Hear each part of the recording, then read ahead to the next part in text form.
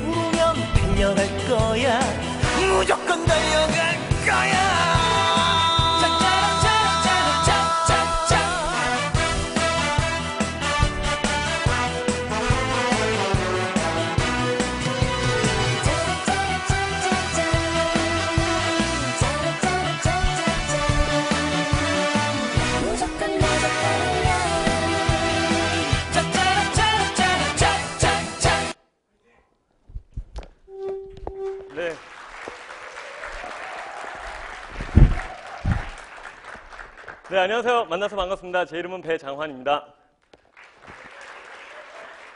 네, 앞에 어, 영상에서 보셨듯 저는 제가 좋아하는 일을 하며 열심히 즐겁게 살아가는 청년입니다. 지금 많이 앞에 분들 이- 이야기 들으시면서 좀 긴장하신 것 같은데 제 이야기를 들으실 때는 이제 편하게 방금 보셨듯이 웃으시면서 즐겨주셨으면 고맙겠습니다. 어, 제가 이렇게 오늘 테드엑스에서 강연을 하게 된 것만으로도 너무나 큰 영광인데 이렇게 숙명여자대학교라는 곳에서 강연을 하게 됐다는 사실은 저를 한 번 더 설레게 했습니다. 역시나 이렇게 예쁘신 분들이 많이 와 계셔서 지금도 무척 떨립니다. 자 그렇다면 지금부터 제가 어, 용기와 멋진 아이디어만 있으면 누구라도 세계 일주를 할 수 있는 프로젝트 세계 일주를 아- 소개하기 앞서 더 재미있는 제 이야기를 먼저 하고 시- 이야기를 시작하도록 하겠습니다. 앞에 화면에 보이시는 이 캐리커처는 바로 저입니다. 실물이 더 낫지 않나요? 아닌가요? 예, 제가 어제까지만 해도 잘생겼었는데 죄송합니다. 자, 저는 올해 나이 29살 꿈 많은 청년이고요. 하고 싶은 일이 너무나도 많고 앞으로도 그 꿈을 위해 열심히 노력할 겁니다. 저는 두 가지 전공을 가지고 있는데요. 하나는 연극 영화 연기를 전공했습니다. 또 한 가지는 중국어를 전공했는데요. 자, 이쯤에서 눈치가 이제 빠르신 분들은 이미 눈치채셨겠지만 그렇습니다. 제 꿈은 한류 스타가 되는 것입니다. 어, 자, 그럼 제 이야기를 조금 더 자세히 해보도록 하겠습니다. 저는 어린 시절부터 어, 앞에서 말씀드렸듯이 하고 싶은 일이 너무 많아서 문제였습니다. 그 중에서도 가장 하고 싶었던 일은 바로 영화 배우가 되는 거였는데요. 어떻게 하면 영화 배우가 될 수 있을까 하고 이렇게 고민하던 찰나에 제가 평소 너무나도 존경하던 영화 배우 정우성은 압구정동 길거리에서 어, 이제 아르바이트를 하기 거- 걸어가다가 길거리 캐스팅이 되었다라는 신문 기사를 보고 어 그래? 그럼 나도 압구정동 가서 아르바이트 하면 길거리 캐스팅 될 수 있을 거야라는 그런 무모한 어떻게 무식한 생각을 했습니다. 그리고 또 저는 집이 경기도 일산인데도 불구하고 매일 지하철을 타고 1시간 반씩 로데오 거리까지 가서 아르바이트를 했었습니다. 그게 제 19살, 20살 때 시절 이야기인데요. 그런 저의 노력이 하나님께서 보시기에는 너무나도 귀여워 보이셨는지 이렇게 보시는 화면처럼 진짜로 길거리를 지나가다가 캐스팅이 돼서 이렇게 잡지 모델로 활동한 경험이 있습니다. 이렇게 화면으로만 보니까 굉장히 많은 활동을 한 것 같은데요. 사실은 아주 짧게, 아주 짧게 그냥 행운에 그쳤습니다. 그래서 그렇지만 저는 제 배우라는 꿈을 이루기 위해서 계속해서 도전하고 어, 오디션을 봤지만 계속해서 낙방하고 좌절하고 원래 스무 살 시절엔 다 그런 거라고 하지만 참 많은 좌절을 겪었습니다. 그래서 제가 선택한 길은 무엇이었을까요? 아마 남자분들은 지금쯤 예상을 하셔야 하는데 바로 예, 군대였습니다.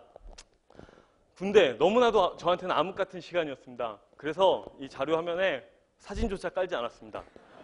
그냥 보시는 것처럼 이렇게 눈앞이 깜깜하고 이렇게 암흑 같은 시간을 보냈습니다. 하지만 이 암흑 같은 시간이 제 인생에 있어서는 너무나도 큰 약이 된 것 같습니다. 군대 시절 저는 도대체 어떻게 하면 내 꿈을 이룰 수 있을까 이렇게 고민하던 중에 아 어린 시절 아버지께서 해주신 말이 생각이 났습니다. 책 속에 길이 있다. 책을 읽어라. 하지만 어린 시절 워낙 제 날라리 생활을 하다 보니까 책 읽을 시간이 없잖아요. 근데 이제 군대에서는 의외롭게 시간이 많더라고요. 그래서 어, 군대에서 정말 닥치는 대로 이제 책을 열심히 읽기 시작했는데 앞에서도 말씀드렸듯 저라는 사람은 무언가를 보면 아 그냥 아 멋있다 이렇게 그치는 게 아니라 어 그래? 그럼 나도 한번 해보고 싶다. 예를 들어 텔레비전에 내가 나왔으면 정말 좋겠네 하고 보통은 이렇게 생각하잖아요. 그럼 저는 좋겠네? 그럼 해봐야지 라는 이런 실천주의자였거든요. 그래서 군대에서도 이렇게 재미있는 책을 읽다가 어 그래? 그렇다면 이렇게 재미있고 감동적인 이야기를 보기만 할 것이 아니라 내가 책을 쓰- 쓰는 사람이 한번 돼보자라고 생각을 했습니다. 그래서 군대를 제대하고 나서는 다시 압구정동으로 돌아간 것이 아니라 저의 두 번째 꿈을 이루기 위해서 이제 중국 베이징으로 유학을 갔습니다. 중국 베이징으로 유학을 간 이유는 제가 어린 시절에도 그랬듯 이왕 공부하는 거 한번 큰 물에서 공부, 해보자라는 마음으로 간 것이고요. 낮에는 어, 중, 중국어를 공부하고 밤에는 이렇게 보시는 화면처럼 예, 술 먹었네요. 보니까 예, 예, 술도 가끔 마셔가면서 이제 한국어로 된 책을 읽고 글을 쓰면서 언젠가는 나도 작가가 될 수 있을 거라는 그런 꿈을 꿨습니다. 참 저라는 사람은 지- 이번에 이 프레젠테이션을 준비하면서 느꼈지만 참 무모하고 단순한 사람이었던 것 같아요. 당시만 해도 제가 어떤 소설가가 되고 싶은지 아니면 시인이 되고 싶은지에 대한 생각조차 없었고 그저 그냥 책을 쓰는 시- 사람이 되고 싶다라고 생각하고 언젠가는 될 수 있을 거라는 믿음 아래 이렇게 열심히 노력을 하고 있었는데요.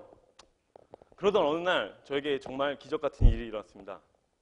그것은 바로 동생으로부터 걸려온 전화 한 통인데요. 어린 시절부터 제 동생의 꿈은 세계 일주였습니다. 저는 그걸 알고 있었지만 그냥 동생은 동생, 내 인생은 내 인생이라고 생각했는데 어느 날 동생이 저에게 전화를 걸어서 이렇게 말했습니다. 형, 우리 세계 일주 갈래? 아, 저 이 말을 듣는 순간 너무나도 놀랐습니다. 이 어, 여태까지 세계 일주란 저희가 평상시에 한 번도 생각을 해본 적이 없었고 저는 제 꿈을, 에, 꿈을 향해 도전하기만 바빴었는데 동생이 이어서 저에게 하는 말이 형, 형 카메라 앞에 서보고 싶어 했잖아. 책 쓰는 일 한번 해보고 싶어 했잖아. 나랑 같이 세계 일주 가면 형 매스컴에도 많이 탈 수 있고 형 책 쓰는 일도 해가지고 멋진 여행 작가가 될 수 있어. 그 말을 듣자마자 저라는 사람은 굉장히 단순하기 때문에 좋아 가는 거야 하고 이렇게 말했습니다. 그래서 동생의 말만 믿고 학교 휴학을 결심하고 한국으로 돌아왔는데 동생의 얘기를 조금 더 자세히 듣다 보니까 이번 제가 생각했던 세계 일주랑은 차이가 너무나도 컸습니다. 제가 생각했던 세계 일주란 그냥 배낭을 메고 내가 가고 싶은데 매일 맥주 마시고 돌아다니고 이렇게 여행하는 그런 걸 상상했는데요. 제 동생이 저에게 말하기를 형, 내가 지금 주- 멋진 아이디어가 있는데 그것은 바로 우리나라 평창 동계올림픽 이제 평- 평창 동계올림픽을 개최하려고 하는데 우리가 우리 형제가 전 세계를 돌아다니며 평창을 홍보하는 그런 세계 일주를 하자. 이름하여 프로젝트 세계 일주를 하자라고 말했습니다. 그래서 저는 그 말을 듣는 순간 아 나 당했구나. 아 나 나 동생한테 지금 이용당하고 있구나 라는 생각을 했습니다. 하지만 또 가만히 생각을 해보니까 이번 기회야말로 국가도 알리고 전 세계 국가도 알리고 저 제가 누구인지를 세상에 알릴 수 있는 절호의 찬스라고 생각했습니다. 그래서 저는 동생에게 야 평창 동계올림픽 유치 홍보를 하려면 동계올림픽의 상징인 쫄쫄이 쇼트트랙복을 입고 세계 일주를 하는 거야 라고 말했습니다. 바로 이- 이렇게 말이죠. 제가 생각하는 홍보란 많은 사람들의 이목을 끌, 끌고 알리는 것이라고 생각합니다. 그러려면 이렇게 튀는 복장은 필수라고 생각했고 가슴에 태극기를 달고 머리에 레게 머리까지 해가면서 전 세계를 이렇게 쇼트트랙복 차림으로 입고 다녔습니다. 제 동생도 그런 저의 아, 의견을 적극 이렇게 받아주어서 같이 형제가 사이좋게 쇼트트랙복을 입고 전 세계를 누볐고요. 어, 자 그렇다면 지금부터는 본격적으로 세계 일주의 새로운 장르 프로젝트 세계 일주에 대해서 말씀을 드리도록 하겠습니다. 용감한 형제들의 세계 여행. 저희는 어, 이름하여 Brave Brothers 용감한 형제라고 팀명을 정했습니다. 이 Brave Brothers라는 이 저희 팀명에 Brave라는 단어 안에는 어, BA라는 철자가 들어있습니다. 근데 이 BA, BA는 제가 배씨, 성이 배씨인데 또 이제 어떻게 보면 배 Brothers라는 의미가 담겨 있는 것 같기도 해서 저희 형제, 형제한테는 이 Brave Brothers라는 의미가 굉장히 각별하게 다가옵니다. 또 사실 이제 제 꿈을 향해 도전하고 또는 세계 일주를 하면서도 느낀 거는 용기만 있으면 못할 일이 없습니다. 그래서 이 용기라는 거는 정말 저희한테 굉장히 중요한 어, 모토이기 때문에 이렇게 팀명을 Brave Brothers라고 지- 정하게 되었습니다. 다음으로는 아, 제 마음 같아서는 동생 얘기 안 하고 계속 제 이야기, 이야기만 하고 싶은데 어디선가 이렇게 보고 나중에 저를 때릴 것 같아서 어쩔 수 없이 네, 저- 제 동생을 소개하도록 하겠습니다. 제 동생 바로 이렇게 방금 말씀드렸듯 멋진 아이디어를 선물해 준 사람이 바로 제 동생입니다. 저보다 동생이 더 확실히 똑똑하긴 한 것 같은데요. 또 세상은 공평해서 저보다 외모는 조금 예, 떨어진다고 생각합니다. 예, 동생은 대학에서 체육교육학을 전공했습니다. 그래서 평소 올림픽과 스포츠에 관심이 많았는데 평범한 일반 사람 같았으면 평창 동계올림픽 뭐 개최 발, 개최국 발표 D-100일, 200일 이런 기사를 보면 어 그래? 뭐 평창에 땅 사야겠는데? 뭐 끼케야 이 정도 생각이잖아요. 근데 제 동생은 아무래도 전공이 어, 체육교육학이고 스포츠와 올림픽에 관심이 많았던 만큼 아 그렇다면 그냥 세계 일주를 하는 것이 아니라 이렇게 어, 전 세계 우리나라 평창을 알리는 세계 일주를 해야겠다고 바로 그런 아이디어가 떠올랐다고 합니다. 다음으로는 이제 저희들의 세계 일주가 어, 일반 세계 일주와 다, 다른 점에 대해서 설명을 드리고자 합니다. 제가 여태까지 어, 어린 시절에 생각했던 세계 일주란 돈이 아주 많아야만 막 이렇게 요트 타고 다니면서 이제 즐겁게 이렇게 여행하는 거라고 생각했고 또는 이렇게 걸어서 자전거 타고 막 정말 죽을 뻔하면 이렇게 고생을 여러 번 하면서 하는 것이 세계 일주라고 생각을 했는데요. 제가 동생과 이렇게 멋진 경험을 해본 결과 머릿속에 멋진 아이디어가 있고 어, 또 용가, 용, 용기 하나만 있으면 그 아이디어에 투자해 주시고 도와주실 분들은 이 세상에 얼마든지 있습니다. 저희 역시 그런 일반 세계 일주가 아니라 이 평창을 알리는 세계 일주라는 아이디어를 가지고 여러 기업체와 국가기관을 찾아다니면서 저희들의 여행을 지원해 주시기를 어, 지- 지원해 주십사 해서 이렇게 기획서를 써서 찾아다녔습니다. 그 결과 어, 평창 동계올림픽 유치위원회나 어, 다음 커뮤니케이션, 어, 나이키, SK텔레콤 등에서 저희들의 활동을 적극 지원해 주셨습니다. 어, 이거 말고도 이제 저희들의 세계일주는 일반 세계일주와 다른 점이 있는데요. 왜 안 넘어갈까요? 아, 예. 보시죠. 저희는 어, 평창 동계올림픽 개최국 발표 D-100일 날 한국을 출발해서 분명한 목적과 테마를 가지고 여행을 했습니다. 다시 말해 평창 동계올림픽이 우리나라에서 개최하고자 하는 걸 세상에 알리기 위해 역대 동하계 올림픽이 개최되었던 도시들을 주로 탐방하며 우리나라를 알렸습니다.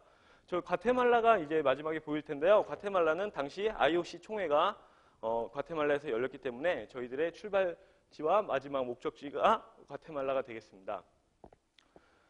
어, 물론 이렇게 세계 일주를 하면서 이렇게 계속 홍보 활동을 한건 아니고 동생과 얘기도 하고 예, 즐겁게 시간을 나누기도 했는데요. 그런 홍보 활동으로는 저희들이 이제 세계 유수 대학에 찾아가서 왜 평창이어야만 하는가에 대해서 이제 프리젠테이션을 했습니다. 그 밖에도 어, 태권도 동생과 함께 태권도 행- 태권도 시범을 보이면서 우리나라를 알리기도 하고 이렇게 보시는 화면처럼 쇼- 쇼트트랙복 복장을 하고서 어, 미국 보스턴 마라톤 대회라든지 사람들이 많이 몰리는 곳에 가서 이렇게 태극기를 흔들면서 우리나라를 알렸습니다. 그렇게 여행을 다니는 동안 저희에게 가장 가장 기억에 남는 일이 있다면 그것은 바로 다양한 분야, 다양한 사람들을 만날 수 있었다는 것입니다. 게다가 각 분야 최고의 분들을 만날 수 있었는데요. 저희는 평창 동계올림픽 유치 기원의 메시지를 어, 받고 싶습니다라는 명목 아래 이제 전 세계에 계신 어, 우리나라를 빛내고 계신 스타 여러분들을 찾아뵀는데요.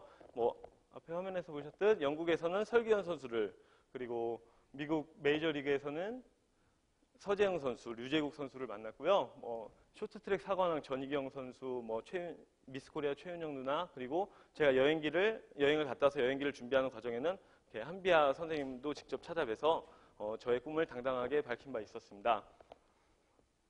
이런 저희들의 이야기는 이렇게 해외 외신에도 여행 중에 계속 보도가 됐었고요. 한국 신문에도 이렇게 여러 차례 보도가 된 바 있었습니다.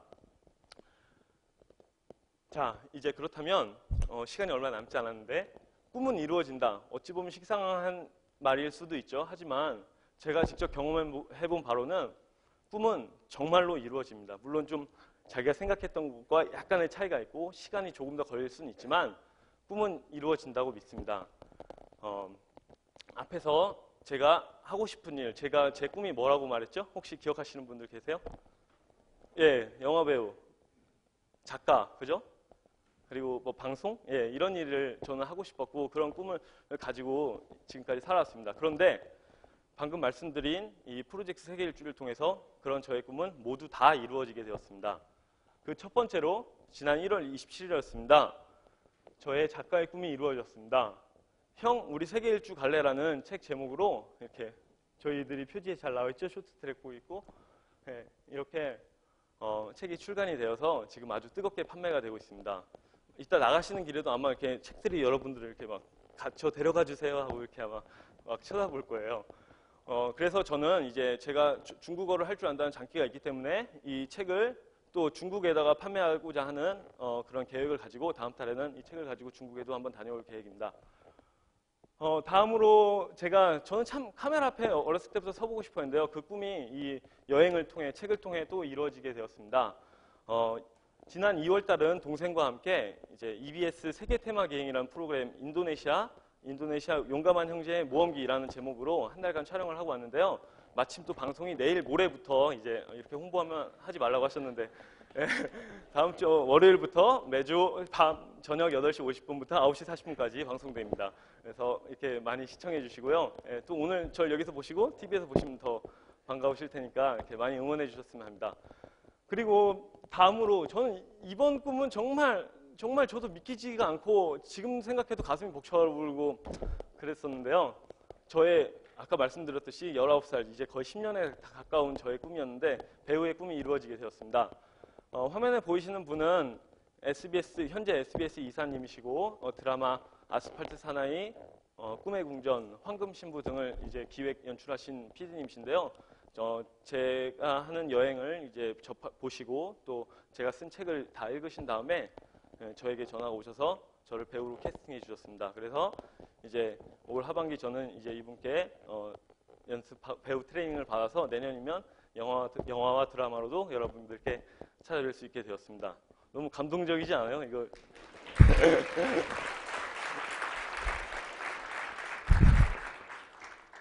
그럼 제 동생은 뭘 하고 있을까요? 예, 보시듯이 제 동생은 국민요정 김연아를 만났습니다. 뭐 이 정도면 동생의 꿈도 모두 다 이루어진 거 아닐까요? 제, 제 동생은 지금 현재 또 한 번 저와 동, 저와 했던 그 특별했던 경험을 바탕으로 다시 한번 우리나라를 알리러 세상을 떠났습니다. 어, 세상을 떠났다. 어, 제가 어, 제가 동생을 아무리 미워해도 그렇지. 예, 예, 아무튼 예, 동생은 지금 전 세계에 우리나라 독도를 아- 독도를 알리겠다는 프로젝트를 또 한 번 기획을 해서 서울대학교 도, 도전 동아리 친구들과 함께 독도 레이서라는 이름으로 1년짜리 프로젝트 세계 일주를 하고 있습니다. 그 과정에서 또 독도를 알리는 데 힘을 써야 되는데 이렇게 가서 김연아 선수를 만나고 있고 예, 사실 김연아 선수는 2018 평창 동계올림픽 홍보대사이기도 합니다. 저희도 그렇고요. 그래서 이렇게 저희 책에 추천의 글도 써주고 저희에게 이렇게 항상 응원을 해주고 있습니다. 저는 나름 친하다고 생각하는데 김연아 선수도 어디 가서 그렇게 얘기해 주실지는 잘 모르겠네요. 제가 이제 마지막으로 여러분께 드리고 싶은 말은 딱 이 한마디입니다. 생각보다 중요한 건 실천. 멋진 아이디어를 갖고 세상에 똑똑한 사람 너무나도 많습니다. 보셨듯이 저 그렇게 똑똑하지 않고요.